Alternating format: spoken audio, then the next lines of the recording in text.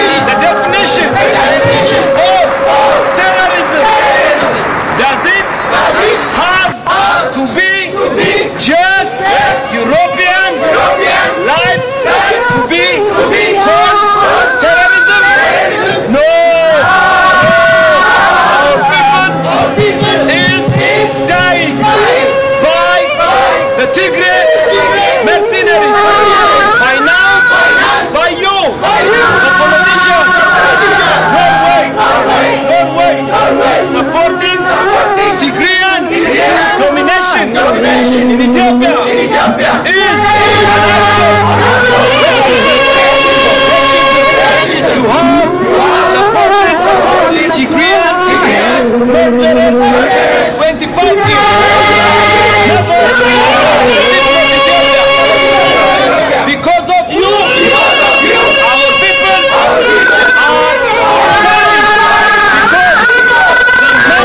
money. Two, Two. The, killer. the killer. Securities. Securities.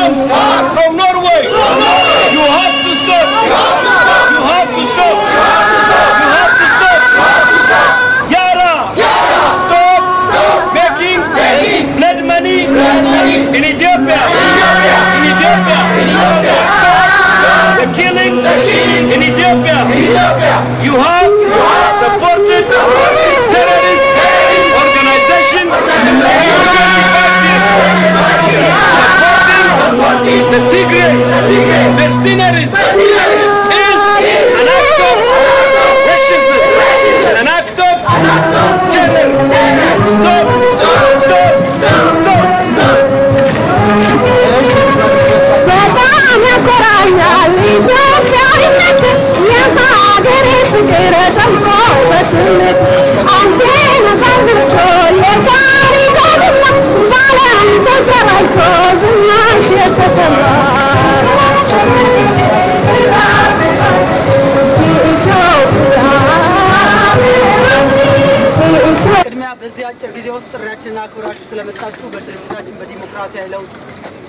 ስም የከበረ ምስጋናዬን አቀርባለሁ።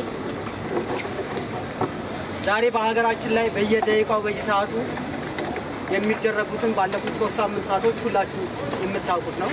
በኦሮሚያ ህጻናቶች በኦሮሚያ ህጻናቶች እየተገደሉ ነው። በጎንደርም ተመሳሳይ ድርጊት እየተፈጸመ ነው። ይህንን ተግባር ለማውገዝ የሁሉም የኢትዮጵያዊ ግዴታ መሆኑን ይገባል። ይሰማኛል። በዚህ ሰዓት ውስጥ ይህንን ግዴታችሁን ለመወጣት እዚህ ስለመጣችሁ ምን ያህል ኢትዮጵያውያን ዛሬ በሀገራቸው ጉዳይ ላይ ቁጣና እልህኝነት ውስጥ እንደገቡ የሚያመለክት ነው። ስለዚህ ለበለጠ ስራ ለመስራት ከአሁን በኋላ በዘር መከፋፈሉን ትተን በጎሳ በወገን በመለያየቱን ትተን ለሀገራችን ለኢትዮጵያ ለመጻኢው እድል ለወጣቱ ትውልድ በተለይ ለልጆቻችን ብሩህ የሆነች ኢትዮጵያን ለማስተላለፍ የምንችለው ዛሬ ሁላችንም በአንድነት በህብረት ይህንን ዘረኛ አምባገነን ቡድን ማስወገድ ስንችል ነው። ይህንን አምባገነን ቡድ- ቡድን ለማስወገድ ደግሞ የሁላችንም የእያንዳንዳችን ጥረት ያስፈልጋል። እያንዳንዳችን በሀገራችን ጉዳይ ላይ ያገባኛል በሚል ሁላችንም የበኩላችንን ካደረገን ይህንን አምባገነን ቡድን በአጭር ጊዜ ውስጥ ማስወገድ እንችላለን። ይህንን ደግሞ ለማድረግ እያንዳንዳችን ራሳችንን ከአሁኑ ሰዓት ጀምሮ እየጠየቅን በቀጣይነት ድርጅታችንም የሚያደርገውን ጥሪ እንዲሁም ከኢትዮጵያ ውስጥ የሚተላለፉልን ጥሪዎች እየተቀበልን ወደ ትግሉ ተሳታፊ እንድትሆኑ እንድንሆን ጥሬን አቀርባለሁ። እግዚአብሔር ይስጥልኝ። አመሰግናለሁ። አቶ ዳንኤል አበበ የዲሞክራሲ ለውጥ የድጋፍ ድርጅት በኖሮይ ከዚህ በመቀጠል ከኢትዮጵያ community በኖርዌይ ወይዘሮ ዙፋን አማረ አጭር መልእክት ሊያስተላልፉ እንጋብዛለን። በዛሬው ቀን እዚህ ቦታ ለምን እንደተገኘን ሁላችንም የምናውቀው ነው። ይሄንን ነገር ለመቃወም ኦሮሞ መሆን አያስፈልግም፣ አማራ መሆን አያስፈልግም፣ ኢትዮጵያዊ መሆንም አያስፈልግም። ሰው የሆነ ሰው ሁሉ ይህንን ነገር ሊቃወመው ይገባል።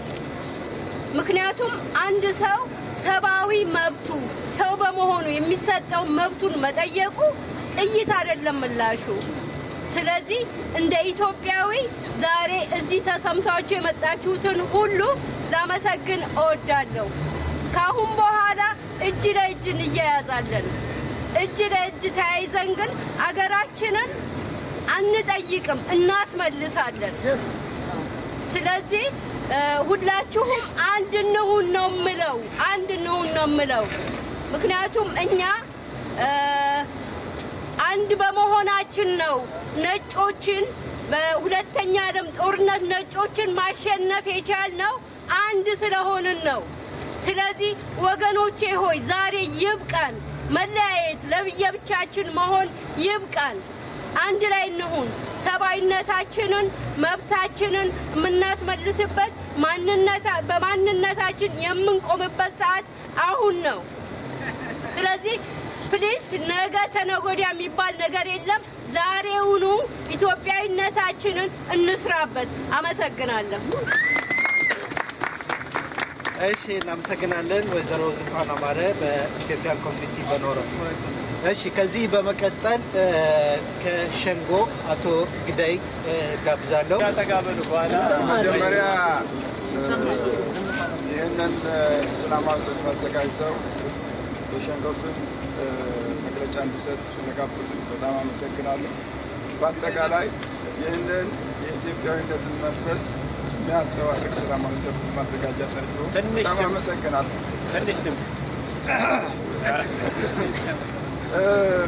ምንድን ነው አሁን ያለንበት ሁኔታ ምን ይመስላል?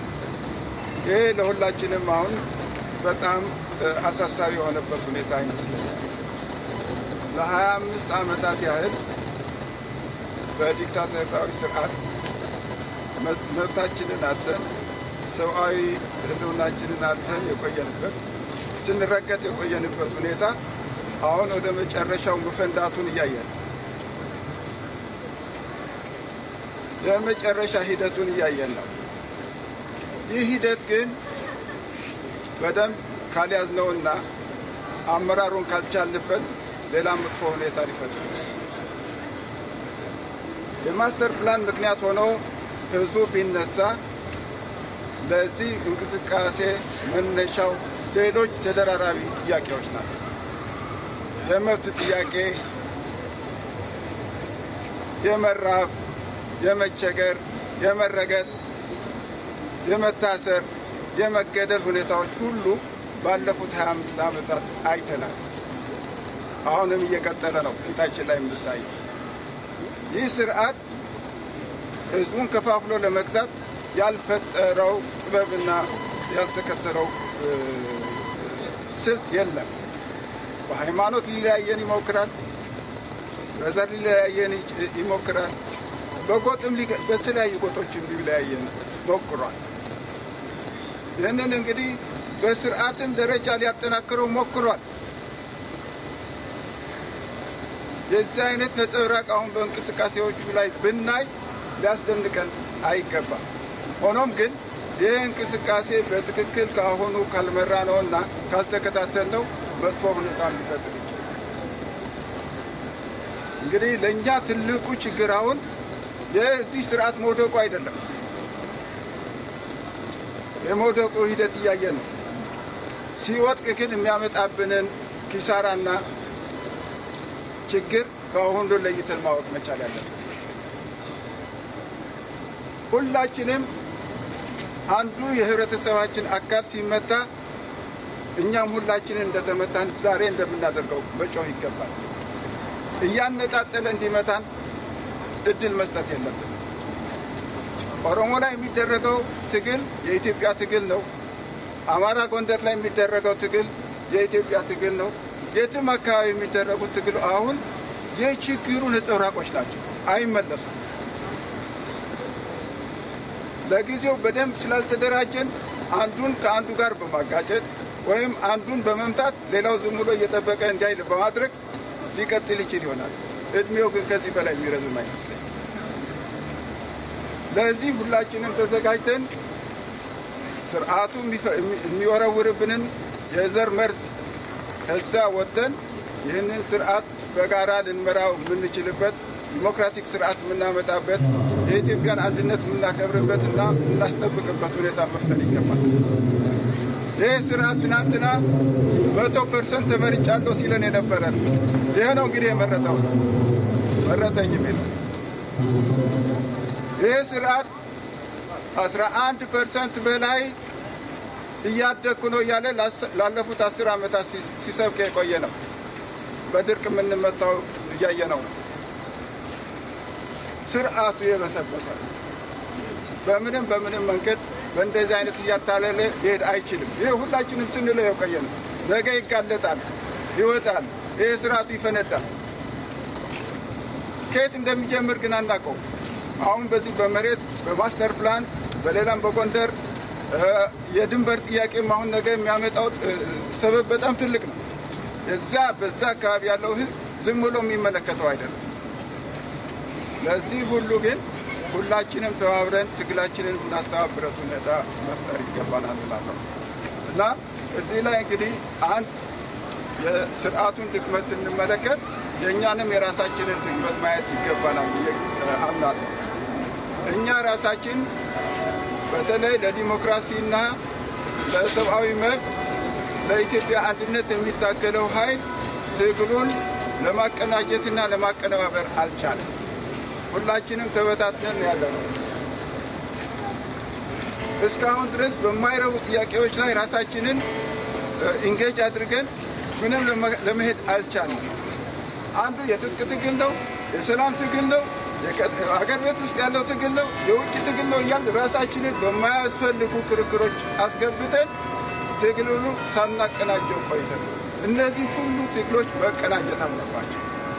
ሌላ አማራጭ ያለን አሁን የሀገር አድን ጥያቄ ነው። ጊዜ የሚሰጠን ጥያቄ አይደለም። ሁላችንም ለአንድነትና ለዲሞክራሲ ለሰብአዊ የምንታገል ኃይሎች ትግላችንን እናቀናል። ይህ ነው የኔ መልእክት፣ የሸንጎ መልእክት ነው። ከሶስት ዓመት በፊት ይህንን ብለናል። አሁን ያለንበት ሁኔታ የአገር አድን ሁኔታ ነው። የአገር ጥያቄ ነው።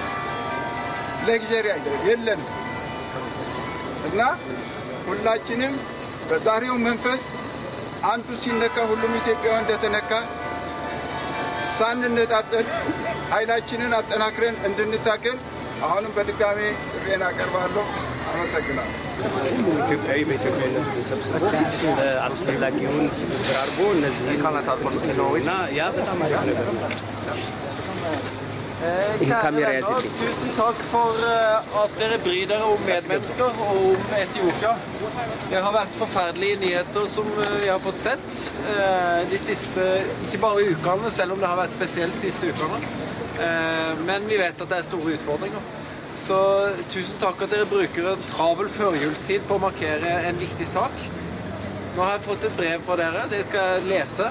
Eh, og så skal jeg feire jul sammen med mine etiopiske, eller norske, eh, eh, onkelbarn, altså niese og nevø, som er norske, men de har etiopiske foreldre. Eh, og de er fostersøsken til min kone. Eh, og da kan jeg diskutere mer og spise what, som er fantastisk godt. Så tusen takk for, for deres engasjement, eh, for at dere bryr dere om medmenneskene og, og deres hjemland. Eh, Og så skal jeg se hva vi kan gjøre på, på Stortinget. Tusen, tusen takk. jobber du? på Stortinget.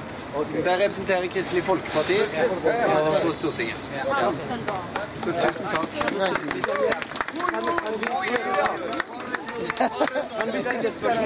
Ja, jeg har litt dårlig tid, men, men uh... Ja, vi ser at uh, når, det når det gjelder Europa, er det terrorisme. Men når det er Etiopia, det er.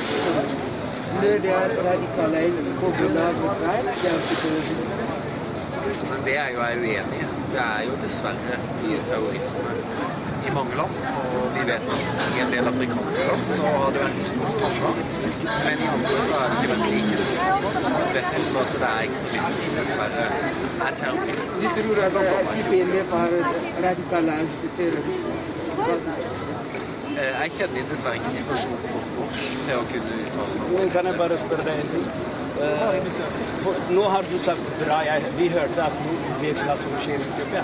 Men vi har aldri hørt noe sånn fra andre medier og sånn. Men Norge er støttet 25 år for samme terroristorganisasjon. Og de har lovet oss Jeg sto her 25 år siden. Var det noe som var støttet. De lovet oss at det blir flere partister i Etiopia. Siste, men nå ett parti som sitter 25 år. Men Norge bare øker bestanden, som går direkte til uh, terroristregimet. Og Hva tenker du? Flere partister ble, flere partister ble lovet. Da Gro var statsminister. Men nå er det ingen opposisjon. Av 547 sitteplasser er 547 sitteplasser, og du ser hva som skjer. Hvis de har 100 støtte fra folk, hvorfor det skjer det som skjer nå? Nei, det. Altså, det å kjempe for menneskerettigheter, alle menneskerettigheter skal være oppfylt for alle mennesker, det er jo eh, Så kan jeg dessverre ikke situasjonen godt nok til å svare sånn ditt. Så, så beklager. Så litt dårlig tid. for Vi skal.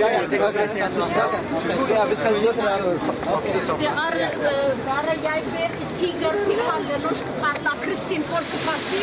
Jeg ber deg i Guds navn at du tar dette budskapet til Stortinget.